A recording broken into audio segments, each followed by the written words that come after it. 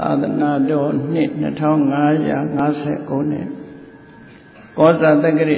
ရာ1389ခုနှစ်တဇမုံလပိကျော်9ရက်2015ခုနှစ်ဒီဇင်ဘာလ1ရက်ရန်ကုန်တိုင်းဒေသကြီးမယန်းကုန်းမြို့နယ်သာသနာ့ဝန်ကြီးဌာနသာသနာတော်ထွန်းကားပြန်ပွားရေးဦးစီးဌာနသဘူတိဗိမာန်တော်အတွင်ဆင်းကျင်းပပြုလုပ်အပ်သည့်ဓ မ္မပူဇာအထူးတရားပွဲ၌ရန်ကုန်တိုင်းဒေသကြီးတကုံမြို့သစ်မြောက်ပိုင်း39အေရက်ွက်သစ္စာလမ်းအမှတ်29နှစ်ဖက်မိဘများဟူထား၍ဥစောလွန်တော်တသက်သူသမီးမုဒိတာမေတ္တာအောင်မိသားစုတို့ဤအမတဒါနဓမ္မဒါနအဖြစ်ဖြင့် ဟောကြားအပ်သောဗုဒ္ဓဤရင်တွင်စကားအကြောင်းတရားဒေသနာတော်ဒီကနေ့ညဓမ္မသဘင်ခန္ဓာကိုရွှေဖုံးတော်သခင်ရှင်တော်မြတ်ဖရာဤမဟာကရုဏာကုံကိုအာယုပြုကာတိကျုဖွဲ့ဆိုအပ်သောဝန္ဒနာပနာမအာတိလဂါထာကိုရွတ်ဆိုပူဇော်ခြင်းဖြင့်စတင်ကြရအောင် ယောကပကောတိဟိပိယပမေယံကာလံကရွန်တော်တိဒုက္ခရာနိခေရံကတောလောကဟိတယာနာထောနမောမာကာရုဏိကတတတ္တာယောနာထောဝိနိယများစွာတတ္တဝါဤချမ်းသာစည်းပွားလိုလားတောင်းတကုံပေါင်းခါသဖြင့် နာထမြညာခြင်းရှင်တော်မြတ်ဖရာသည်ကပ္ပဂောတိဟိပိဂရေကဘာအရေးအတွက်သင်္ချာတို့ဖြင့်တော်လဲအဘယ်မယံရေအတွက်တိုင်းတာဖော်ပြခြင်းငါမစွမ်းနိုင်ပါသောကာလံလေးအသင်ချေသိမ့်ဒီကဘာရှိကြသောကာလပတ်လုံးလောကဟိတယတတလောကဤအကျိုးစီးပွားအလုံးငါ အတိဒုက္ခရာနိဥ္စာအသက်ချစ်လက်အင်္ဂါမေတ္တာကြီးမာသမိတာနှင့်တထာဇနီဆွန်ញင်းကြီးဟုကျက်တိထဝယ်ငါးသွဲအစုအလုံးခဲရင်တော်မူတော်ကိုကရွန်တော်ဖျားဖြစ်ရန်ဤတန်ကြိုးကုပ်အာထုတော်မူရသည်ဖြစ်၍ခေရန်လက်ချေမျက်လုံးအသက်ဆုံးလည်းရဲ့နှလုံးစိတ်ဝမ်းကိုရောဤပင်မခြင်းသို့ ကတောဘဝတဏ္ဍချိန်ဖန်များစွာရောက်တော်မူကြရရှာလိမ့်မည်မဟာကရုဏီကတတတဝါများယင်ဝေသာကဲ့သို့တနာချစ်ခင်မဟာကရုဏာရှင်ဖြစ်တော်မူသောတသနာတသဝိနည်းများစွာတတဝါဤချမ်းသာစည်းပွားလိုလားတောင်းတခုံပေါင်းခါသည်ဖြင့် နာထမြညာထိုရှင်တော်မြတ်ဖရာအားနမောယုတိပြောင်းပြော့မှန်ကိုလျော်၍ကရောယုကျိုးရှိခိုးခြင်းသည်အထုဘဝတုစင်စစ်မသွေဖြစ်ပါစေတည်း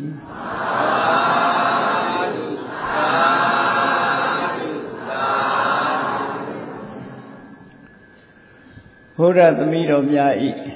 ရှင်တွင်စကား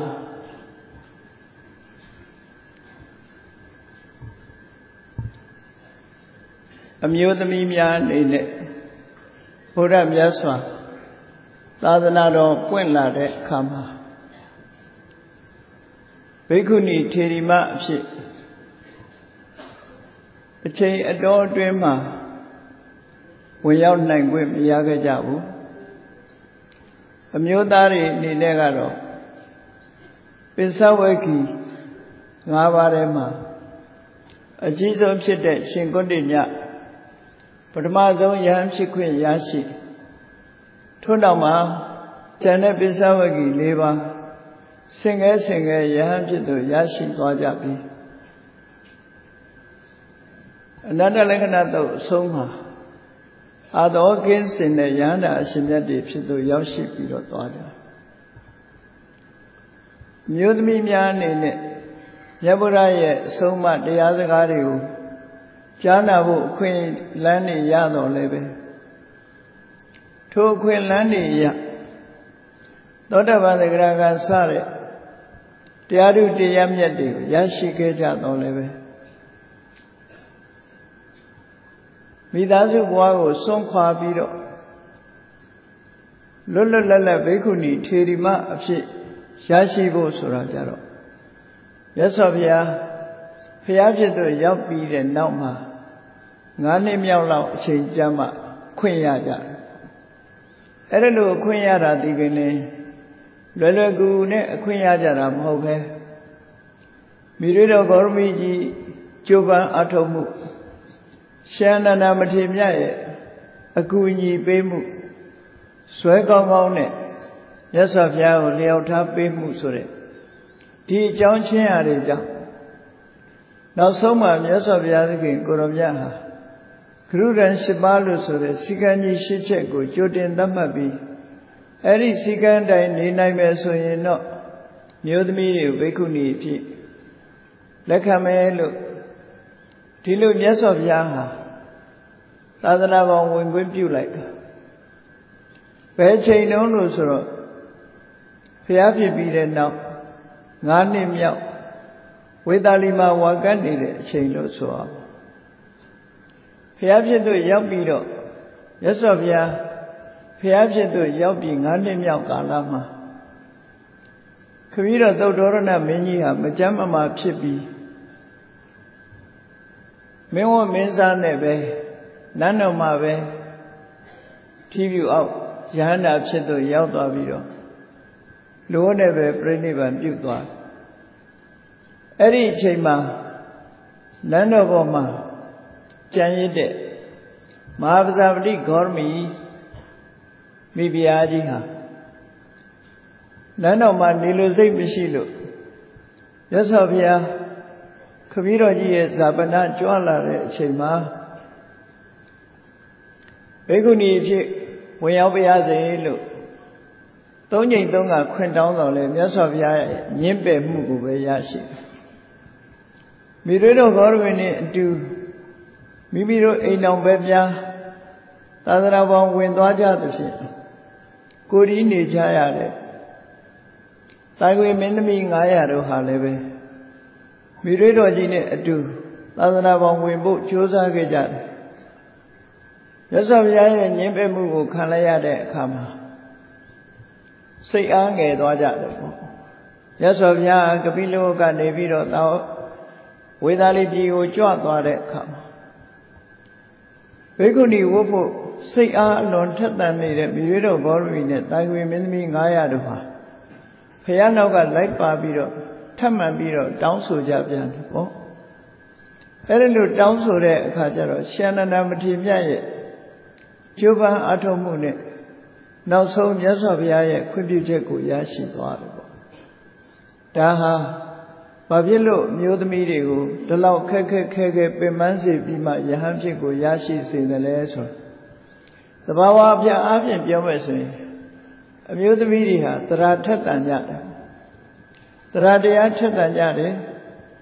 သရာတရားထက်တန်လွန်အားကြီးတဲ့အခါမှာသရာပေါ်မှာအခြေခံလွန်အားကြီးသည့်အတွက်ကြောင့်သရာလွန်လို့ရှိရင်အသိပညာဘက်ကလျော့နေသွားတယ်အဲ့ဒီနှစ်ခုဟာတရားကိုပညာစောင့်မှလမ်းဖြောင်းတယ်ပညာကိုလည်းတရားစောင့်မှလမ်းဖြောင်းတယ်လို့ဆိုတဲ့အထက်မှာစိတ်အားနုနယ်တတ်တဲ့အမျိုးသမီးတွေနေတယ်တရားတရားအလွန်ကောင်းပြီးတော့ တခါတရံဆင်ញင်ုံမဲ့တဲ့ကိစ္စမျိုးတွေလုံးမိလုံးမိတတ်တယ်ပေါ့ဒါကြောင့်မို့မြတ်စွာဘုရားတရားတရားတွေအခြေမခံမဲနဲ့တကယ်ကိုအသိပညာတွေရရှိလာအောင်မကြွားဖြစ်လာသည့်ထိအောင်ရသော်ဗျာမြို့သမီးတွေကိုရုတ်တရက်ခွင့်ပြုချက်မပေးဘဲနဲ့စီကံချက်တွေနဲ့ချမှတ်ပြီးတော့မှခွင့်ပြုချက်ပေးတယ်။ အိန္ဒိယရဲ့ထုံတန်းစင်လာအရာဟာလည်းပဲမြို့သမီးတွေရဲ့နေရာဟာအလွန်နဲတယ်ပေါ့။ဒါကြောင့်မို့ရသော်ဗျာကတော့မြို့သမီးတွေလူဝေရေးနဲ့ပတ်သက်တဲ့လူတွေရဲ့ဆက်ဆံမှုနဲ့ပတ်သက်လာတဲ့အခါမှာသာစီကံသတ်မှတ်ထားတော့လေမျိုးသမီးတွေရဲ့ဘာသာတရားနဲ့ပတ်သက်တဲ့သို့မဟုတ်အတိမ့်မင့်လို့ခေါ်တဲ့ ထူးခြားတဲ့အသိဉာဏ်ရေးရပတ်သက်တဲ့အစစ်မြင့်တရားတွေနဲ့ပတ်သက်ပြီးတော့ကန့်သက်ထားတာမရှိဘူးမြို့သမီးတွေရည်ချင်းရှင်ရှိသလားဉာဏ်ပညာထက်မြက်ကြတယ်သမာဓိတရားတွေထက်မြက်ကြတယ်ရှင်သာရိပုတ္တရာလို့ပညာထက်တဲ့ခေမာဆိုတဲ့မြို့သမီးပေါ်ပေါက်တယ်လို့ပဲရှင်မောကလန်လို့တကူကြီးတဲ့ဥပ္ပလဝန္တာဆိုတဲ့ခြေဒီမလည်းပေါ်ပေါက်ခဲ့လို့ မြတ်စွာဘုရားသခင်ကိုရောမြတ်ရဲ့လက်ဝဲရလဲရရအနေနဲ့ဒီအခွင့်အလမ်းကိုရရှိခဲ့ကြတာဖြစ်တယ်ပေါ့မြတ်စွာဘုရားမှာခွဲခြားဆက်ဆံလို့တဲ့စိတ်မရှိတော့လဲလူလောကလူတွေရဲ့အတိုင်းဝိုင်းထဲမှာနေရတဲ့အခါမှာ society ရဲ့စိတ်နေသဘောထားတွေပေါ်မှာမူတည်ပြီးတခါတရံလိုက်လျောကျင့်သုံးရတဲ့ကိစ္စတွေရှိတယ်ပေါ့ဒါတွေက လူလောကထဲမှာနေလို့ရှိရင်လူလောကရဲ့ဒလိထုံတန်းဆင်လာတွေဆိုတာညင်းပယ်လို့မရဘူးမြတ်စွာဘုရားကိုယ်တိုင်သိပင်လေညင်းပယ်မှုမပြုဘူးဒလိထုံတန်းဆင်လာတွေကို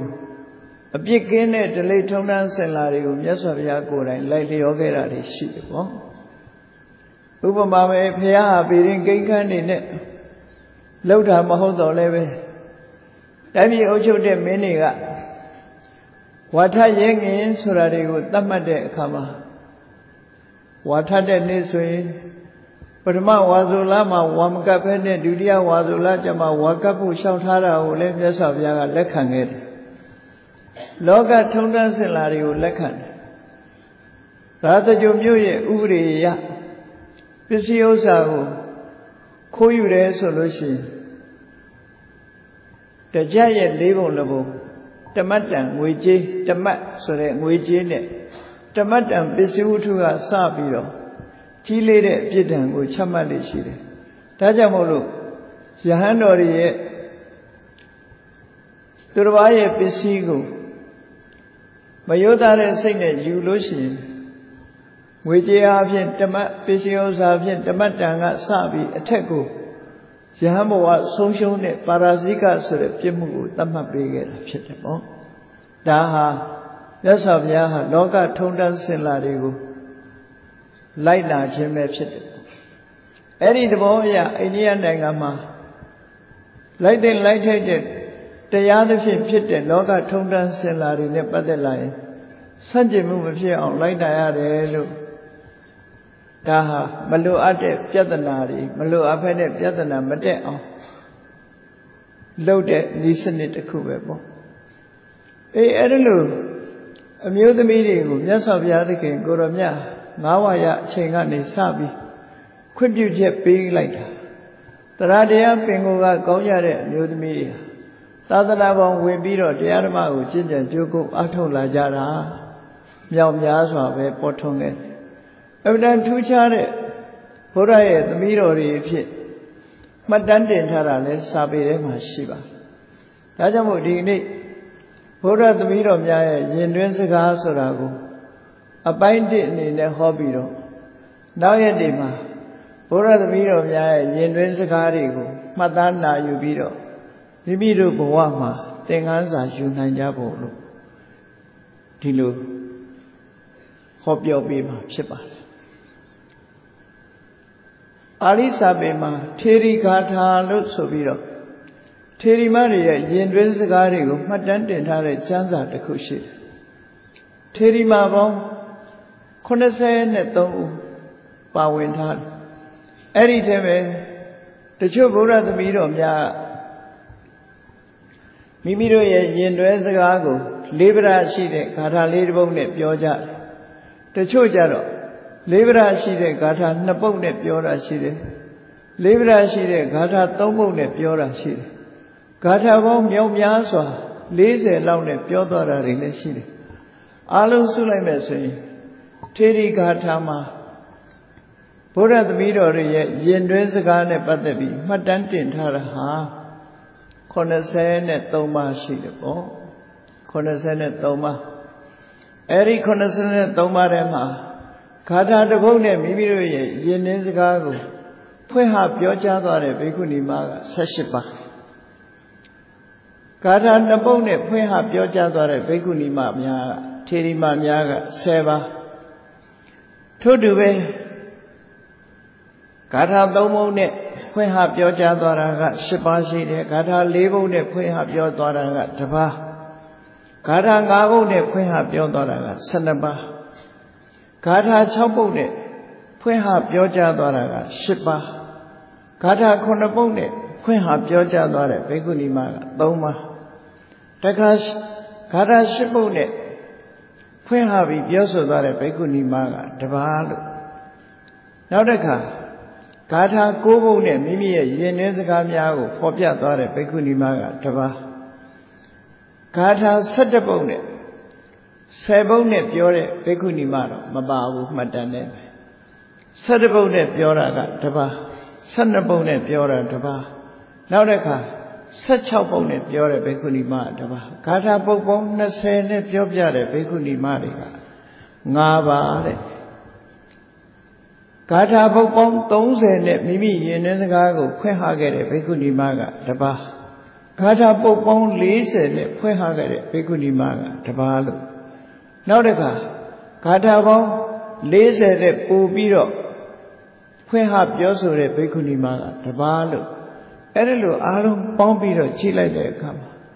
ဘိက္ခုနီမပေါင်း83ပါးရှိတယ်အဲ့ဒီ83ပါးသောဘိက္ခုနီမတွေရဲ့ယဉ်တွင်းစကားကိုမှတ်သားနိုင်ယူကြပြီးမိမိတို့ဘဝမှာ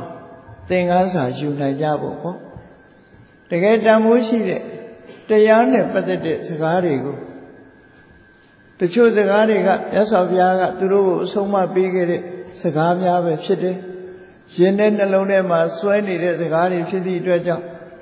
သူတို့ဟာတတိယတိုင်းဥရန်ကျူတဲ့အနေနဲ့ဒီဂါထာလေးတွေဖွင့်ဟကြတယ်။နောက်ဆုံးဘဝဏီကုံချုပ်တော့ပြိဋိဘံပြုကြတဲ့အချိန်ခါမှလည်းပဲဒီဂါထာလေးကိုရွတ်ဆိုပြီးတော့နောက်ဆုံးအတန်တိတ်သွားကြတာဖြစ်တယ်ပေါ့။သူတို့အမျက်တနိုးရွတ်ဆိုပြီးပြောဆိုသွားတဲ့စကားလေးတွေကို အခုလိုမှတ်တမ်းတင်ထားတာအကုန်ဟုတ်ချင်မှဟုတ်မယ်။မှတ်မိသလောက်မတန်းတင်ထားတာသာဖြစ်နိုင်တယ်ပေါ့ဒီတဲ့ပို့ပြီးတော့လည်းပဲရှိနိုင်တယ်သို့တော်လည်းပိဋကစာပေကိုမှတ်တမ်းတင်ရတယ်ဆိုတာအကုန်လုံးမှတ်တမ်းတင်နိုင်တာမဟုတ်ပါဘူးဘာဖြစ်လို့လဲလို့ဆိုရင်ဒီကနေ့ခေတ်လို့ဒီမှတ်တမ်းတင်တဲ့ကရိယာအကူအညီတွေကမရှိဘူး လူကိုယ်တိုင်ပဲ oral tradition လို့ခေါ်တဲ့အတိုင်း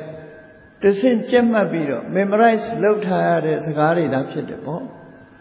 အခုခေတ်လို့ဆိုရင်တော့ပိဋကစာပေတွေဟာဒီတဲ့ပို့ပြီးတော့မှတ်တမ်းတင်ခံရမှာဖြစ်တယ်ပေါ့သို့တော်မြတ်စွာဘုရားသခင်ကိုရောမြတ်ရဲ့အလုံးကိုတန်မိုးရှိတဲ့ပိဋကစာပေတွေဟာမြန်မာနိုင်ငံမှာဒုတဲ့ကြီးမားစွာခဏိထိစာအုပ်စာရန်နေလည်းရှိတယ် သင်ကြားပို့ချနေတဲ့ပုဂ္ဂိုလ်တွေလည်းရှိတယ်အားလုံးအဓိပ္ပာယ်ဖော်နိုင်တဲ့အနေထားရှိလို့မြန်မာနိုင်ငံမှာဘုရားတရားတော်တွေဟာရှင်သန်နေသေးပဲဖြစ်တယ်လို့ပြောရအေးဘုရားတရားတော်တွေဟောကြားခဲ့တဲ့အိန္ဒိယနိုင်ငံမှာဆိုလို့ရှိရင်လူတွေရဲ့ယဉ်တဲ့နှလုံးထဲမှာမရှိတော့ဘူးစာအုပ်အနေနဲ့ရှိကောင်းရှိတော်လည်းပဲယူလူတွေရဲ့ယဉ်တဲ့နှလုံးထဲမှာဘုရားတရားတော်တွေဆိုတာရှိတော့တာမဟုတ်ဘူး ဒီကနေ့မြန်မာလူမျိုးတွေအိန္ဒိယနိုင်ငံသွားဘုရားကရာဘုရားဘူးဆိုပြီးသွားကြတယ်အိန္ဒိယနိုင်ငံလူတွေကဘုရားကိုကြည်ညိုလို့ဘုရားဌာနတွေကိုထိမ့်သိမ့်ဆောင်ရှောက်တာမဟုတ်ဘူးဒဏငွေကြေးအတွက်နဲ့သာလောက်ကင်နေကြတာဖြစ်တယ်ဒီလိုဘုရားဘူးတွေလာတဲ့အခါမှာငွေကြေးဒဏရရှိတာကိုအလေးထားပြီးတော့ဒီအတွက်ထိမ့်သိမ့်ဆောင်ရှောက်ထားကြတာဖြစ်တယ် အေးအကယ်၍သူတို့အတွက်အသုံးဝင်တော့ဘူးဆိုရင်အချိန်မရွေးဓာတ်တွေဖယ်ပစ်ဖို့ဖြစ်လာနိုင်ကြရှိတယ်ပေါ့ဒါတန်ဝေကယူဖို့ပြောပြမြန်မာလူမျိုးတွေကအလွန်ကံကောင်းလို့အိန္ဒိယနိုင်ငံမှာပေါ်ထွန်းခဲ့တဲ့ဓမ္မယရနာလို့ဆိုတဲ့အနှစ်သာရတကယ်တန်မိုးမဖြတ်နိုင်တဲ့ယရနာကြီးဟာမြန်မာနိုင်ငံကိုရောက်ရှိလာခဲ့တာဖြစ်တယ်ပေါ့အေးမြန်မာလူမျိုးတွေကတော့တယံဇာတပေါ်ကျွယ်ဝတယ်ဆိုပြီးတော့ မြေကြီးတဲ့ကဟာတွေကိုသာဂုံယူနေတတ်ကြတယ်သို့တော့တကယ်ဂုံယူတဲ့တန်ကတော့မြတ်ဗုဒ္ဓရဲ့အဆုံးအမတရားတော်တွေပဲဖြစ်တယ်ပေါ့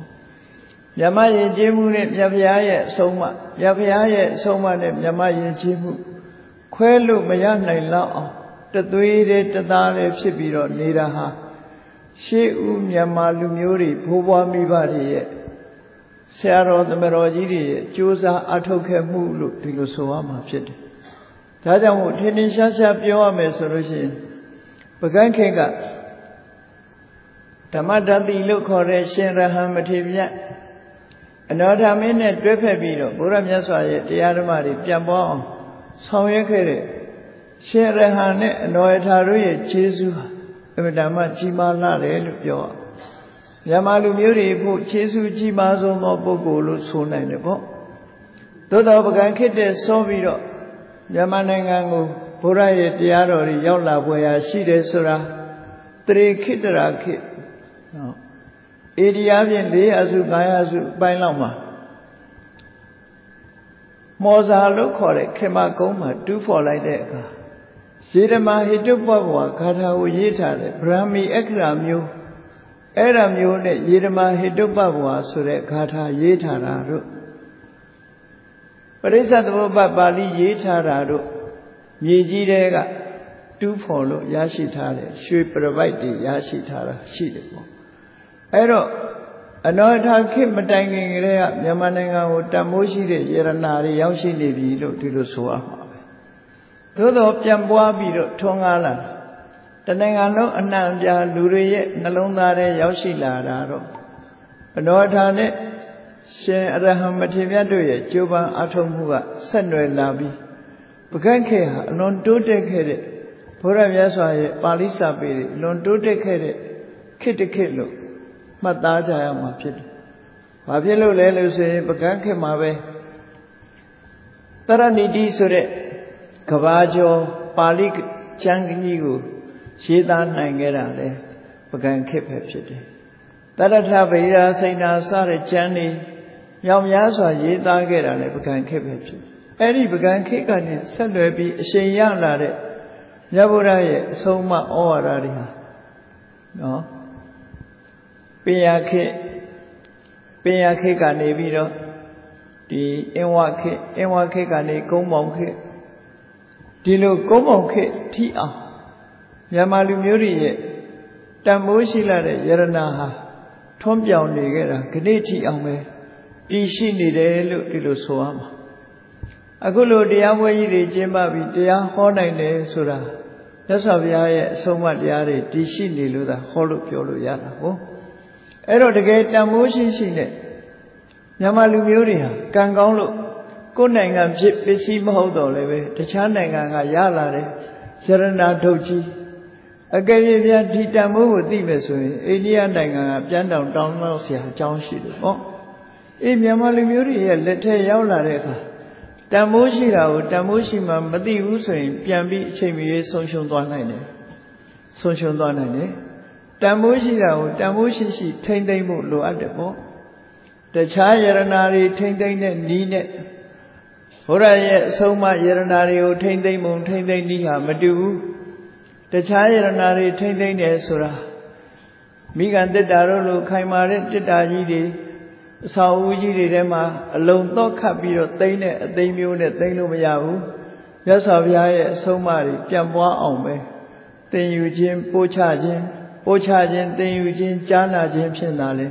မြတ်စွာဘုရားအဆုံးအမတွေတည်အောင်လုပ်နိုင်တယ်ပေါ့ဒါကြောင့်မို့စာပေကျမ်းကမှာဆိုထားတာ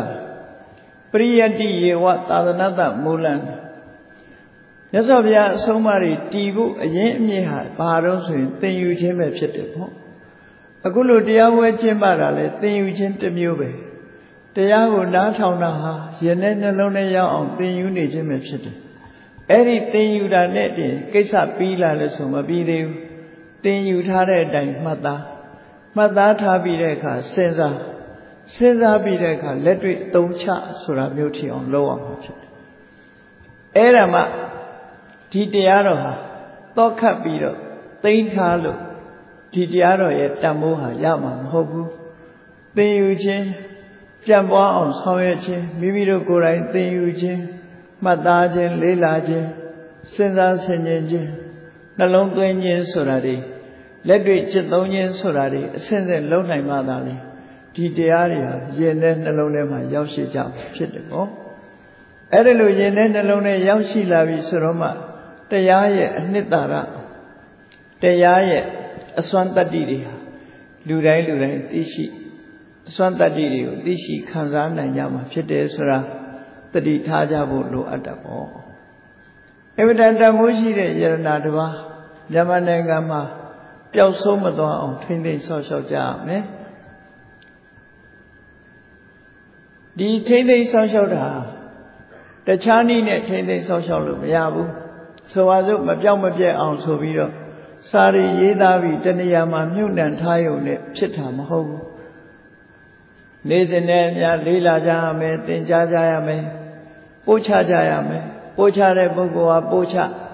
သင်ယူတဲ့ပုဂ္ဂိုလ်ဟာသင်ယူပို့ချခြင်းသင်ယူခြင်းဖြစ်တာလေလက်ဆင့်ကမ်းပြီးတော့သွားကြမှာဖြစ်တယ်လို့ဒီလိုဆိုတာပေါ့အေးဒါကြောင့်မို့ဒီနေ့ထေရီဂါထာလို့ဆိုပြီးတော့ထေရီမတွေရဲ့ ရှင်တွင်စကားဘုရားသမီးတော်များရဲ့ရှင်တွင်စကားတွေဟာအလွန်ပဲမှတ်သားဖွယ်ရာကောင်းတယ်တရားဓမ္မနဲ့ပတ်သက်ပြီးတော့ပြောထားတဲ့စကားတွေဟာအလွန်ပဲအဆင့်အတန်းမြင့်တယ်တချို့တရားတွေကမြတ်စွာဘုရားသခင်ကိုရောမြတ်ကတရားပေးတဲ့အနေနဲ့သူတို့ကိုဆုံးမခဲ့တဲ့ဩဝါဒစကားတွေလာဖြစ်တယ်ပေါ့အဲ့ဒီဩဝါဒစကားတွေကိုမမေ့နိုင်ပဲနဲ့အမြဲတမ်းနှုတ်ထဲကနေပြီးတော့ကျွယင့်ပြီးနေကြတဲ့စကားတွေကို မှတ်တမ်းတင်ထားတာအာလုံးထေရီမာပေါင်း83ပါးရဲ့မှတ်တမ်းစကားများရင်တွင်စကားများတာဖြစ်တယ်ပေါ့ဒီနေ့အစပြုပြီးတော့ပထမဆုံးထေရီမာကနာမည်ဖော်ပြထားခြင်းမရှိတော့လဲသူ့ရဲ့နာမည်ကိုပြောမယ်ဆိုရင်ထေရီကာလို့ခေါ်တယ်ထေရီကာဆိုတဲ့နာမည်နဲ့ဂါထာမှာတော့အညတရာထေရီ မထင်ရှားတဲ့အညတရထေရီမတပါးလို့ဒီလိုဆိုထားတော့လည်းပဲအထက်ကရာကြတဲ့အခါမှာထေရီကာလို့နောက်သူ့ကိုရသော်ဘုရားကိုယ်တိုင်ဆုံးမစကားပြောတဲ့အခါမှာလည်းပဲထေရီကာဆိုတဲ့နာမည်နဲ့ခေါ်ပြီးတော့ဆုံးမထားတာဖြစ်တော့သူ့ရဲ့နာမည်ဟာမထင်ရှားတာတော့မဟုတ်ဘူးထေရီကာဆိုတဲ့နာမည်အမည်ရတဲ့အမျိုးသမီးတူရဲ့အကြောင်းပဲဖြစ်တယ်သူဟာ ဒီထေရီမလူဘဝတုန်းကဒီဝေသာလီပြည်မှာလက်ဆွေမင်းတူရဲ့သမီးတော်အဖြစ်မွေးဖွားလာခဲ့တာဖြစ်တယ်။အဲ့ဒီလက်ဆွေမင်းတူရဲ့သမီးတော်အဖြစ်နဲ့မွေးဖွားလာခဲ့တာခန္ဓာကိုယ်တုတ်တုတ်ခိုင်ခိုင်ကြံ့ကြံ့ရရရှိတာဖြစ်သောကြောင့်ဥပရိယုတ်ကောင်းလို့သူ့ကိုထေရီကာဆိုတဲ့နာမည်ပေးထားတယ်။ကြံ့ခိုင်တဲ့ ဒီကိုယ်ကာယရှိတယ်ဆိုတဲ့အထိပ္ပယ်နဲ့ထေရီကာလို့ဒီလိုခေါ်တယ်အေးအရွယ်ရောက်လာတဲ့အခါအမျိုးသမီးများရဲ့ထုံးတမ်းဆင်လာအတိုင်းပဲမိဘနှစ်ပါးကအိမ်တော်ရဲ့သားချပေးတယ်အိမ်တော်ရဲ့သားချတော့အိမ်တော်ကြသွားတယ်ဆိုပါစို့ရသော်ဘုရားသခင်ကိုရောမြတ်ဝေသာလီပြည်ကိုပထမဆုံးကြွလာတဲ့အချိန်မှာသူဟာရသော်ဘုရားကိုကြိုဆိုပြီးရသော်ဘုရားတရားတော်ကိုနာတဲ့ပရိသတ်ထဲမှာပါဝင်ခဲ့တယ် ဖះကြွလာတာကိုကြိုးဆိုကြတာဝေသာလီပြည်မှာကမ်းလုံးညွတ်မြခင်းကမြရဲ့တစ်ဖက်ကမ်းမှာဖះဆင်းလိုက်တာနဲ့တပြိုင်တည်းဝေသာလီပြည်ကြီးကလူထုပြိဿကြီးဟာဖះကိုအုံးထွတ်ချက်နဲ့ကြိုးဆိုခဲ့ကြတယ်အဲ့ဒီကြိုးဆိုတဲ့ပိဋကတ်ထဲမှာသူကိုယ်တိုင်ပါလာခဲ့တယ်ပေါ့အေးမြတ်စွာဘုရားဟောကြားတဲ့တရားဓမ္မတွေရှင်နဲ့ရောက်လာတဲ့အခါမှာစဉ်းစားလာတတ်တယ် လောကကြီးမှာအမှန်တရားနဲ့ပတ်သက်ပြီးတော့စဉ်းစားလာတယ်နောက်တစ်ခါဝေသာလီပြည်မှာမြတ်စွာဘုရားသတင်းသုံးတဲ့အချိန်မိရွေးတော်ဘောရမီကြီးဥဆောင်ပြီးတော့တောင်းဆိုချက်အရာမြတ်စွာဘုရားကဘိက္ခုနီသာသနာကိုခွင့်ပေးလိုက်တယ်အဲ့ဒါလို့ခွင့်ပေးလိုက်တဲ့အခါမှာမိရွေးတော်ဘောရမီအမှုပြုပြီးတော့တိုင်ဝေမင်းသမီး900ကအစဘိက္ခုနီမတွေဟာတစတစပေါ်ထွန်းပြီးတော့လာခဲ့တယ် အဲ့ဒီလိုတစားတစားပေါ်ထွန်းလာတဲ့ဘိက္ခုနီမတွေဟာဘိက္ခုနီအဖြစ်သို့ရောက်ရှိပုံရင်တူနဲ့တူမတူကြဘူးမိတွေတော်ဂေါရမီကြီးကတော့ဂရုရန်၈ပါးကိုလက်ခံလိုက်တာနဲ့တပြိုင်တည်းဘိက္ခုနီဖြစ်တယ်သူ့ရဲ့ဘိက္ခုနီဖြစ်ဖို့ပါဗုဒ္ဓံတရဏကိစ္ဆာမိလို့လည်းဆိုစရာမလိုဘူးတိမ်ထဲမှာသွားပြီးတော့ကမဝါဖတ်ရတဲ့ဒီကနေ့ခေတ် ordination လုပ်တာနဲ့လည်းမတူဘူး ဂရုရန်၈ပါးကိုလက်ခံပါတယ်လို့အကြောင်းပြောင်းလိုက်ပြန်လိုက်တာနဲ့တပြိုင်တည်းဘိက္ခုနီဖြစ်ကိုရောက်သွားတယ်အဲ့တော့ ordination လို့ခေါ်တဲ့ဒီကနေ့ခေတ် higher ordination လို့ပြောတယ်အဆင့်မြင့်ယဟန်ဘဝရောက်ကြတာတွေဟာအမျိုးစုံပဲရှင်ကုဏ္ဏညာမထေရမြတ်ယဟန်ဘဝရောက်တာတော့ဘယ်လိုပုံနဲ့ရောက်တုံဆိုမြတ်စွာဘုရားကအေဟိဘိက္ခု သွားခါတော်ဓမ္မောစရဗြဟ္မစရိယံတမ္မာဒုက္ခတအန္တကိရိယာယဆိုတဲ့ဒီစကားလေးနဲ့တည်းပဲယဟန်ဖြစ်ကိုရောက်ရှိသွားတယ်ဗုဒ္ဓံတရဏံကိစ္ဆာမိလို့လဲဆိုစရာမလိုဘူးမြတ်စွာဘုရားမိန့်ကြားလိုက်တဲ့အေဟိဘိက္ခုဆိုတဲ့ဒီစကားလေးနဲ့သူဟာယဟန်ဖြစ်ကိုတိမှတ်ပြုခြင်းခံရအေဟိဘိက္ခုဆိုတာမြတ်စွာဘုရားကရှင်ကုဏ္ဏညာယဟန်ပြုပြရစီလို့ခေါ်တဲ့အခါမှာ တယောက်ကြားတဲ့အခါမှာမြတ်စွာဘုရားကအေဟိဘိက္ခုဆိုပြီးခေါ်လိုက်တယ်ခေါ်လိုက်တဲ့ခေါ်လိုက်ပြီးတဲ့နောက်မှာသွားခါတော့ဓမ္မောငါဟောတဲ့တရားမှာအမှားရင်မရှိဘူးဆိုတာတရားတော်နဲ့ပတ်သက်ပြီး guarantee ပေးလိုက်တဲ့သဘောပဲစရဗျမစရိယံတမ္မာဒုက္ခတအန္တကိရိယာယဆိုရည်ပဲချက်နဲ့လှုပ်ဆောင်ရမယ့်တာဝန်ကိုပေးအပ်ခြင်းပဲဖြစ်တယ်အင်မတန်မှပြည့်ပြည့်စုံတဲ့စကားလေးတစ်ရပ်ပဲ နော်ရဟန်းဖြစ်တို့ရောက်တယ်ဆိုတဲ့အဓိပ္ပာယ်ဟာအလွန်ရှိတယ်သောခါတို့ဓမ္မောငါဟောတဲ့တရားဟာမမှန်ကန်ကန်ဟောထားတာဖြစ်တယ်ဒီအမခံချက်ပေးလိုက်စရဗြဟ္မစရိယံဘာလို့ရမယ်ဆိုတာကိုဖော်ပြတယ်ဗြဟ္မစရိယဆိုရဲမဂ္ဂင်၈ပါးအကျင့်ကိုကျင့်ရမယ်ဘာရည်ရွယ်ချက်နဲ့ကျင့်ရမလဲဆိုရင်တမ္မာဒုက္ခတာအန္တကိရိယာယမှန်ကန်တဲ့နည်းနဲ့ဒုက္ခအဆုံးသတ်ဖို့ကျင့်ရမယ် အဲ့တော့မှန်ကန်တဲ့နည်းလို့ဆိုတဲ့အခါဒုက္ခအဆုံးသတ်ဖို့ဆိုပြီးတော့မြတ်စွာဘုရားလက်ထက်ကဖယားမပွင့်ခင်မှာဒီရာဇဂိုမြို့တဝိုက်မှာဤအမျိုးမျိုးတွေတီထွင်ပြီးကြံစပြီးတော့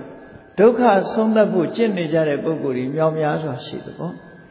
တချို့ကအစာငတ်ခံပြီးတော့ကျင့်တယ်တချို့ကစူးပေါ်အိပ်ပြီးတော့ကျင့်တယ်ဟော osteoporosis လို့ခေါ်တယ်တပတ်အကျင့်မျိုးစုံတချို့ကတစ်သလုံးဆောင်းကြောင်ကြီးထိုင်ပြီးတော့နေပြီးတော့ကျင့်တယ်တချို့ကအဝတ်မော်ဖက်နဲ့ကျင့်တယ်တချို့ကနေပူပြီဆိုတဲ့အချိန်မှာနေပူလမ်းယုံမြမကဘေးကမီးပုံကြီးလေးပုံခိုးပြီးတော့တကုံလုံးချွေးပြက်ပြက်ကြပြီးအပူခံပြီးတော့ကျင့်တဲ့အကျင့်တွေရောချမ်းသာပြီဆိုတဲ့အချိန်မှာရေချိုးတဲ့အကျင့်တွေရောအဲ့ဒါလို့တပတ်အကျင့်မျိုးစုံကျင့်နေတာဟာ ဒုက္ခအဆုံးသတ်ဖို့ကျင့်ကြတာသာဖြစ်တယ်ပေါ့သို့တော့အဲ့ဒီအကျင့်တွေဟာတမ္မာမှန်ကန်တဲ့နည်းနဲ့လောက်တာမဟုတ်သည့်အတွက်ကြောင့်သူတို့လိုချင်တဲ့ဒုက္ခဆုံးသတ်မှုရမသွားကြဘူးဒုက္ခတွေပဲထပ်တိုးလာတယ်ပေါ့အဲ့ဒါကြောင့်မို့မြတ်စွာဘုရားကဂရန္ဒီပေးလိုက်တယ်တမ္မာဒုက္ခတအတ္တခိရိယာမှန်ကန်တဲ့နိလန်းနဲ့ဒုက္ခဆုံးသတ်ဖို့ဆိုရင်ဟောဒီမဂ္ဂင်၈ပါးအကျင့်တရားကိုကျင့်ရမယ်လို့ဆိုပြီး ချက်မှတ်ပေးလိုက်တာအဲ့ဒါနဲ့ပဲရှင်ကိုတင်ကြရမ်းဖြစ်ရောက်သွား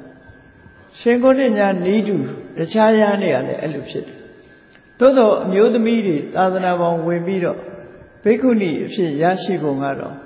မိရွေးတော်ဂေါရမီကြီးကခရုဒန်၈ပါးကိုလက်ခံပါတယ်လို့အကြောင်းပြန်လိုက်တာနဲ့ပဲဘိက္ခုနီအဖြစ်ကိုရောက်ရှိသွားတယ်ဒါကသူ့ရဲ့ဘိက္ခုနီအဖြစ်သူ့ရဲ့နောက်ပါဖြစ်လာတဲ့တိုင်ဝေမင်းသမီး900ကြတော့ ဒီလိုမဟုတ်ဘူးယဟန်တန်ဃာတွေကတိမ်ထဲမှာညကမောဇာနဲ့ဖတ်ပြီးတော့ယဟန်နေချီထမဥပတံပရာဘိက္ခုနီအဖြစ်ကိုခံယူကြရတယ်ဒါကိုဧကတောဥပတံပနာဘိက္ခုနီလို့ခေါ်တယ်အေးသူတို့ဘိက္ခုနီဖြစ်သွားတဲ့နောက်ပိုင်းရောက်တဲ့အခါကျတော့အမျိုးသမီးတွေသာသနာပေါင်းဝิญဉ်လို့ရှိရင်ဘိက္ခုနီတွေထမတစ်ချိန်ယဟန်ခံ ပြီးတော့ဘိက္ခုတန်ဃာတွေစီမှာတစ်ချိန်ယဟန်ခံဆိုပြီးယဟန်ကကမဝါတန်ခါနှမျိုးထံကနေပြီးတော့ယဟန်ကံကမောနှစ်ကြိမ်ဖတ်ပြီးတော့အာလုံးရှစ်ကြိမ်ဖတ်ရတဲ့ကမောမျိုးနဲ့မှဘိက္ခုနီအဖြစ်ကိုရရှိကြတာဖြစ်တယ်ပေါ့အဲ့ဒါကြတော့ဥပဒောတန်ခေဥပတမနာလို့ဒီလိုခေါ်တယ်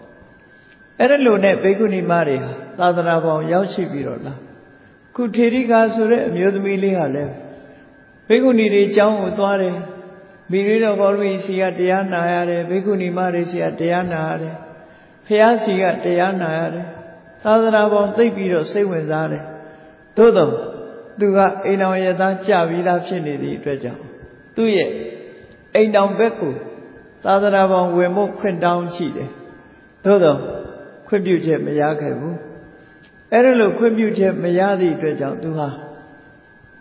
ကျောင်းကိုမှန်မှန်သွားတရားဓမ္မနာဝိပဿနာကျင့်စဉ်ကိုမှန်မှန်ကျင့်အဲ့ဒါလို့ဝိပဿနာတရားတွေကိုကျင့်ရင်ကျင့်ရင်နဲ့သူဟာသောတာပန်ဖြစ်လာတယ်တဂရကံဖြစ်လာတယ်အဲ့ဒါလို့တရားဓမ္မတွေရှင်းရှင်းလင်းလင်းသိလာပြီးတော့နောက်ဆုံးမှာကျောင်းကတရားတွေပါတွေနာယူပြီးတော့အိမ်ပြန်အိမ်ရှင်မတို့လုပ်ရမယ့်အလုပ်တွေကိုလုပ်တယ် အဲ့ဒီလုပ်တဲ့တနေ့မှာမိဖို့ကြောင့်ထဲမှာဟင်းရွက်ကြော်လာအဲ့ဒါလို့ဟင်းရွက်ကြော်လိုက်တဲ့အခါမှာလက်လက်ဆက်ဆက်ဟင်းရွက်ကိုဆေးပြီးဒဲအိုးထဲထည့်လိုက်တဲ့အခါရှဲကနေမြည်တန်နေနဲ့အတူဟင်းရွက်တွေဟာညှိုးကျသွားတာသူအာယုစိုက်မိသွားတယ်ပေါ့အဲ့ဒါလို့အာယုဆိုင်လိုက်တဲ့အခါမှာမမြဲဘူးဆိုတဲ့သဘောတရားသာဝရပြောင်းလဲနေတယ်ဆိုတဲ့သဘောတရားကိုကြည့်ရှုပြီးတော့ သူခန္ဓာကိုယ်ကြီးမှလည်းပဲအဲ့ဒါလို့ထင်လာတယ်လူတွေရဲ့ခန္ဓာကိုယ်လူတွေကသာတတိပဋ္ဌာပဲနေလို့ရှိရင်မသိတာခန္ဓာကိုယ်ကြီးကရုပ်တရားပဲဖြစ်စေနံတရားပဲဖြစ်စေအများအားပြောင်းလဲနေတာလားဖြစ်တယ်ပေါ့အေးဟင်းရွက်လက်လက်ဆက်ဆက်လေးကိုဒဲရဲထဲလိုက်တဲ့အခါမှာတရှဲရှဲနဲ့မြည်ပြီးတော့ညှိုးကျသွားတာအယောင်တွေပြောင်းသွားတာတွေကိုမြင်လိုက်တဲ့အခါမှာ သူခန္ဓာကိုယ်ကိုလည်းသူချိပြီးတော့ငါခန္ဓာကိုယ်လည်းဒီလိုပဲအယောင်တွေပြောင်းပြီးတော့အမြဲတမ်းပြောင်းလဲနေတဲ့သဘောတရားပဲသာဝရမြဲတဲ့သဘောတရားမရှိဘူးဒီလိုဖြစ်ပျက်မှုတွေကနွမ်းမှုနှိမ့်ဆက်နေတဲ့အတွက်ကြောင့်ဒါတွေဟာတကယ်ကိုစိတ်ကျဉ်တတ်စရာမကောင်းတဲ့ဒုက္ခတွေသာဖြစ်တယ်ငါအနေနဲ့ဘာမှတတ်နိုင်တာမရှိလို့အနတ္တသဘောတရားတွေသာဖြစ်တယ်ဆိုတာဟာဟင်းချက်ရင်းကနေပြီးတော့အာယုံယူလိုက်တာ အနာဂံထီအောင်ဖြစ်သွားတယ်နော်ကာမဂုဏ်အာယုန်ဒီပေါ်မှာစိတ်လုံးဝကုန်သွားတယ်ကာမရာဂလို့ခေါ်တယ်ကာမဂုဏ်အာယုန်စိတ်တွေကုန်သွားတဲ့အခါမှာဒေါသဖြစ်တဲ့ဒေါသဆိုတာလည်းမရှိတော့မရှိသည့်အတွက်ကြောင့်ဒေါသစိတ်တွေလည်းကုန်ဆုံးပြီးတော့သွားတယ်ကာမဂုဏ်အာယုန်စိတ်လည်းကုန်တယ်ဒေါသတွေလည်းကုန်သွားတယ်အေးအဲ့ဒါလို့ထူးခြားတဲ့အသိဉာဏ်ကြီးရလာတဲ့အခါမှာ သူ့ရဲ့ဘဝဘာတွေပြောင်းလဲသွားလဲဆိုရင်ခါတိုင်းမှာဆိုရင်ဖီးလို့လိမ့်လို့အလှပြင်းလို့ဒီလိုနေလေးရှိတယ်သို့တော့မိဖို့ကြောင့်ကထွက်ပြီးတန်တန်ပြတ်ပြတ်ရေမိုးချုပ်ပြီးဘယ်တော့မှဖီးတာလိမ့်တာတစားဆင်တာမလုပ်တော့ဘူးတန်တန်ပြတ်ပြတ်လေးပဲနေပြီးတော့အမြဲတမ်းအိန္ဒိယရပြုံးတာရှင်တာလည်းသိပ်ပြီးတော့မလုပ်တော့တည်ငြိမ်တဲ့အနေနဲ့ဖြစ်လာတော့အဲ့ဒီအချိန်မှာ အိမ်တော်ဘက်လှုပ်တဲ့ဒိတ်ဆွေမင်းသားကခါတိုင်းလို့ဝတ်စားဆင်ရမှုမလုပ်တာတွေထူးဆန်းနေတော့မေးတဲ့အခါမှာသူကပြောတယ်သူဟာတရားဓုတရားမြတ်ရထားလို့လူဘဝမှာမနေသင့်တော့ဘူးဘိက္ခုနီဝတ်တဲ့နယ်လို့ဆိုတာကိုရှင်းပြတဲ့အခါမှာအဲ့ဒီကြတော့မှသူ့ရဲ့အိမ်တော်ဘက်အမျိုးသားကခွင့်ပြုတယ်ခွင့်ပြုရုံနဲ့မကဘူးသူကိုယ်တိုင်စိတ်ပါလက်ပါ မိရိတော်ဂေါရမီတို့စီကိုလိုက်လံပြီးတော့အနှံပေးတယ်အနှံပေးလို့မိရိတော်ဂေါရမီစီရောက်သွားဘေကုဏီမအဖြစ်ရောက်ရှိဖို့ဘေကုဏီမရဲ့ပံပုဂ္ဂိုလ်ညီမှုနဲ့ဘေကုဏီအဖြစ်ကိုရောက်ရှိသွားအဲ့ဒါလို့ရောက်ရှိသွားတဲ့အခါတရက်တော့ထေရိကာဆိုတဲ့ဒီဘေကုဏီမလေးကိုမိတွေတော်ဂေါရမိဟာမြတ်စွာဘုရားထံအဖူးမြော်ခေါ်သွားတယ် အဲ့ဒါလို့ခေါ်သွားတဲ့အချိန်လေးမှာမြတ်စွာဘုရားကသူ့ကိုဆုံးမပေးတဲ့စကားလေးဟာသူ့ရဲ့ရင်တွင်စကားပဲဖြစ်လာတယ်ပေါ့ဆုံးမတဲ့စကားကတော့မြတ်စွာဘုရားရဲ့ဆုံးမစကားပဲဖြစ်တယ်မြတ်စွာဘုရားကသူ့ဘဝသူ့ရဲ့အတွေ့အကြုံတွေကိုသိရှိထားတဲ့အတိုင်းပဲမြတ်စွာဘုရားကိုယ်တိုင်ကသူ့ကိုဆုံးမဩဝါဒပေးလိုက်တာဘလို့ဆုံးမဩဝါဒပေးတော့လို့ဆိုတော့ဒုက္ခံသူပါဟိထေရိကေ ကတ္တဝါစောလေနပါရုတာဥပတန္တောဟိတေရာကောဒုက္ခဓာခံဝကုံပိယံဆိုတယ်ဒီလေးပြရှိတဲ့ဂါရလေးတစ်ပုဒ်ပါထေရိယထေရိကာဆိုတဲ့ဘိက္ခုနီမလေးရဲ့ရင်ထဲမှာစွဲမြဲပြီးတော့သွားတယ်။သူ့ဘဝနဲ့လည်းအမြဲတမ်းအကိုက်ညီနေတယ်။မြတ်စွာဘုရားကမိန့်ကြားလိုက်တာပါတော့ ထေရိကသမိထေရိကဒုက္ခံသူပါဟိကတ္တဝသောလိနပါရုတ္တာအေးတမန်လူတွေဝတ်တဲ့လှပတဲ့အဝတ်မျိုးမဟုတ်ဘဲနဲ့ရတဲ့အဝတ်လေးနဲ့တင့်တော်တဲ့သူတော်စင်တွေနဲ့တင့်တော်တဲ့ပန်းတကူအဝတ်လိုအဝတ်မျိုးနော်အဲ့ဒီပန်းတကူအဝတ်လိုသင်္ကန်းအဝတ်ကလေးခြုံယုံပြီးတော့ သင်္ကန်းအဝတ်ကလေးခြုံပြီးတော့စိတ်ချမ်းသာကိုချမ်းသာအိတ်ဆက်နားနေပါလို့မြတ်စွာဘုရားရဲ့အကျဉ်းနာစကားကိုသူစတင်ပြီးတော့ကြားရလောကလူသားတွေဟာကိုဝတ်တဲ့အဝတ်လေးကိုဝတ်ပြီးတော့ဒုက္ခံသူပါဟိချမ်းချမ်းသာသာအိတ်ဆက်ပါလို့ဆိုတာလူတွေဟာချမ်းချမ်းသာသာအိတ်ဆက်ရသလားဆိုဘယ်အိတ်ဆက်ရမှာတော့နော်လူတွေကထင်ကြတယ်ချမ်းချမ်းသာသာအိတ်ရတယ်လို့ထင်ကြတယ် မဟုတ်ဘူးအိတ်ရတယ်ရောက်သွားလို့ရှိရင်စိတ်ပူစရာတွေနဲ့တောင်တွေးမြောက်တွေတွေးဒီလိုဟာတွေကလည်းလာအိတ်ရနိုးလာလို့ရှိရင်လည်းပူစရာတွေနဲ့တွေးလာအိပ်ပြောနေတဲ့အချိန်လေးမှာချမ်းသာတယ်လို့ထင်ကောင်းထင်လိမ့်မယ်မအိပ်ခင်အသိစိတ်ရှိနေတဲ့အချိန်လေးမှာလူတွေဟာရှင်တဲ့နှလုံးထဲမှာလဲတွေ့တာမှုတွေနဲ့မုံတိမှုတွေနဲ့အမှန်မသိမှုတွေနဲ့ရောထွေးပြီးတော့နေသည့်အတွက်ကြောင့် ကိလေသာဆိုတဲ့အညစ်အကြေးတွေတွန်းမိုးထားသည့်အတွက်ကြောင့်ရှင်တဲ့ဟာပူဆာနေတာပဲဖြစ်တယ်အေးချမ်းတဲ့နှလုံးသားမရှိနိုင်ဘူးတဲ့လောကသူသားတွေကိုယ့်ကိုယ်စစ်ဆေးပြီးတော့ကြည့်နော်ကိုယ်ကိုစစ်ဆေးကြည့်လို့ရှိရင်ရှင်ထဲမှာရာရောသမောဟဆိုတဲ့အပူတရားတွေရှိထားတဲ့ပုဂ္ဂိုလ်တရားမှာချမ်းချမ်းသာသာအိပ်ဆက်ရတယ်လို့ပြောလို့မဖြစ်နိုင်တဲ့အနေအထားတစ်ခုဖြစ်လာတယ်ပေါ့စိတ်ပူစရာတွေနဲ့ပဲ အိပ်ဆက်ပြီးတော့နေကြတယ်အေးမြတ်စွာဘုရားကဒုက္ခံသူပါဟိထေရိကေကတ္တဝါသောလိနပါရုတ္တာအေးဝိယုံထားတဲ့သင်္ကန်းလေးအေးချမ်းတဲ့သူတော်စင်တွေနဲ့တင့်တော်တဲ့အဝတ်လေးကိုဝတ်ပြီးတော့ချမ်းချမ်းသာသာအိပ်ဆက်ပါလို့ဆိုတာအိဋ္ဌာကိုသာပြောတာလို့ဆိုပေမဲ့လို့ချမ်းချမ်းသာသာနေပါလို့ဆိုလို့တဲ့အထိပ္ပယ်ပဲ လောကလူတွေဟာအိပ်ပျော်သွားလို့ရှိရင်တော့ဒုက္ခဒုက္ခတွေမေ့ခြင်းမေ့သွားကြမယ်နိုးလာတာနဲ့တပြိုင်နက်ဒုက္ခဒုက္ခတွေပြန်တတိယလာကြမယ်အဲ့ဒါကြောင့်ကိုချမ်းသာစွာအိပ်ဆက်ရတယ်လို့မဆိုနိုင်ဘူးနိုးလာတာနဲ့တပြိုင်နက်စဉ်းစားလာတဲ့ခေါင်းထဲက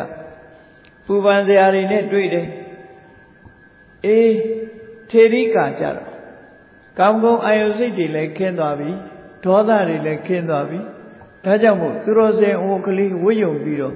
ချမ်းချမ်းသာသာအိပ်ဆက်နိုင်အောင်ကြိုးစားပါလို့မြတ်စွာဘုရားကဆုံးမတဲ့သဘောအဲ့ဒီမှာဥပတန်တော်ဟိတေရာခောမင်းရဲ့ယင်နေနှလုံးထဲမှာတွေ့တာမှုတွေငြိမ့်သွားပြီမရှိတော့ဘူးတွေ့တာမှုဆိုတဲ့ပူပင်သောကတွေငြိမ့်သွားပြီလောကလူတွေဟာတွေ့တာမှုရှိလို့ရှိရင်သောကဆိုတာလာနေတာပဲလေ ဘယ်နေရာမှာတွေ့တာတွေ့တာတွေ့တာတဲ့နေရာအတွက်လူတွေဟာသောကဆိုတာဖြစ်လာတတ်တယ်ပေါ့ဒါကြောင့်မို့တွေ့တာမှုရှိရမှာသောကရှိလာတတ်တယ်အဲ့ဒီရှိလာတဲ့သောကမငြိမ့်တတ်နိုင်ကြဘူးသူ့ဘာတော့ကာမရဏဆိုတဲ့တွေ့တာမှုတွေကိုဖယ်ရှားလိုက်လို့ငြိမ့်သွားပြီငြိမ့်သွားတာကိုဆက်လက်ပြီးတော့တရားဓမ္မကျင့်ကြံကြုတ်ကိုအားထုတ်လိုက်မယ်ဆိုရင် လက်ကြံဖြစ်နေတဲ့တွေ့တာမှုတွေအလုံးအဆုံးသတ်ပြီးတော့ငြိမ့်သွားနိုင်တယ်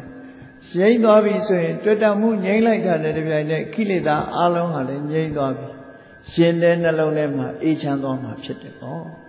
ဒီလိုဆိုလို့ဥပတန်တော်ဟိတေရာခောသစ္တနာမှာရှိတဲ့တွေ့တာမှုတွေအလုံးငြိမ့်သွားပြီအလုံးဟာငြိမ့်သွားတယ်ဆိုတဲ့နေရာမှာနော်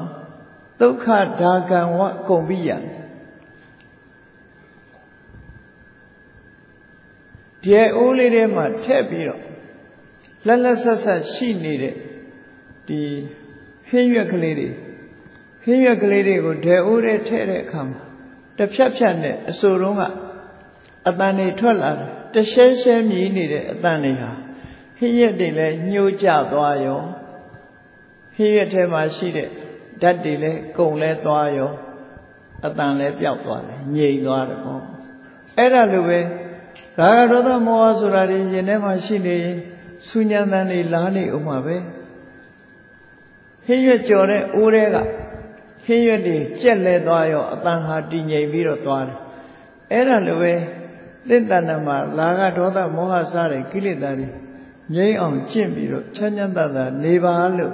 မြတ်စွာဘုရားကသူယူခဲ့တဲ့အာယုန်တစ်ခုကိုအကြောင်းပြုပြီးတော့ဒီကာရာလေးနဲ့ဆုံးမဩဝါဒပေးလိုက်တယ် အဲ့ဒီဆုံးမဩဝါဒပေးလိုက်တဲ့အခါမြတ်စွာဘုရားရဲ့အဆုံးအမတိုင်းသူဟာရှင်တဲ့နှလုံးထဲမှာရှိတဲ့တွေ့တမှုဆိုတဲ့လက်ကြံအရတ္တမဲနဲ့ပယ်လှန်လိုက်တဲ့အခါမှာလုံးဝချုပ်ငိမ့်သွားတဲ့ကိလေသာအပူလောင်တွေလုံးဝချုပ်ငိမ့်သွားတဲ့ယဟန္တာထေရီမဖြစ်သူရောက်သွားတယ်။ဝန်တာလိုက်တယ်အလွန်ဝန်တာသည့်အတွက်ကြောင့်ဒီထေရီမဟာအမြဲတမ်းသူ့နှုတ်ကအလတ်ပြီဆိုတာနဲ့တပြိုင်နက်နှုတ်ထဲကထွက်ပေါ်လာတဲ့ ရင်တွင်းကစကားသံဟာဒုက္ခံသူပါဟိထေရိကေကတ္တဝါသောလေနပါရုတ္တာဥပတန်တော်ဟိတေရာခော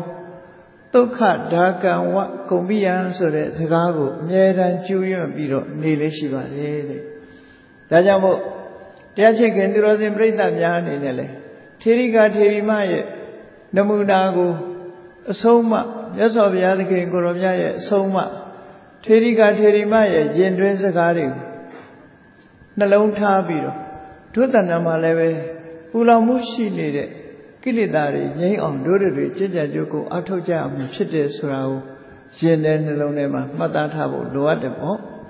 အဲ့ဒီလိုမှမငြိမ်းနေလို့ရှိရင်အတ္တမလာနေဟာဆူညမ်းနေအောင်မှာပဲဖြစ်သေးတယ်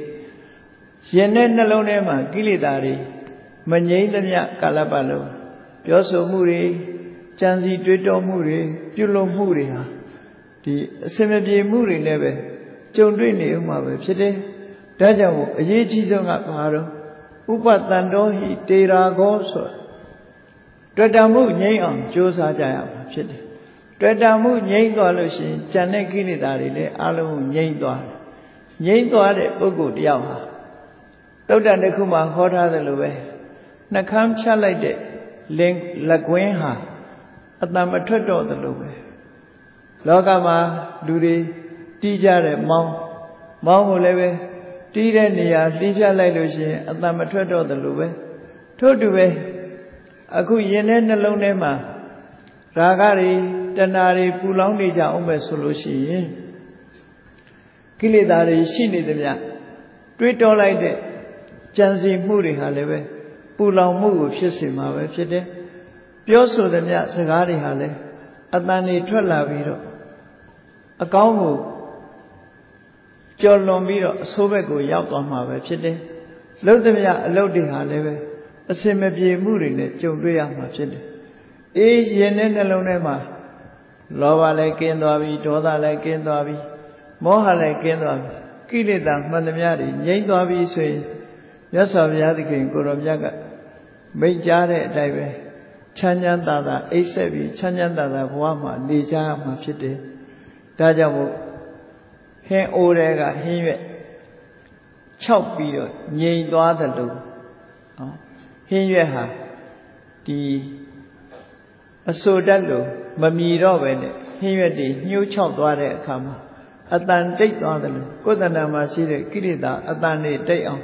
တို့တွေကြိုးစားအထောက်အမှာဖြစ်တယ်လို့ ကိုစီကိုစီသဘောကျပြီးမြတ်ဗုဒ္ဓရဲ့အဆုံးအမထေရိကဘိက္ခုနီမရဲ့ရင်တွင်းစကားတို့မှတ်သားနာယူပြီးကိုယ်တဏ္ဍမှာရှိတဲ့ကိလေသာတွေငြိမ်းအောင်ကျင့်ကြံကြိုးကုပ်အားထုတ်နိုင်ကြပါစေကုန်သတည်း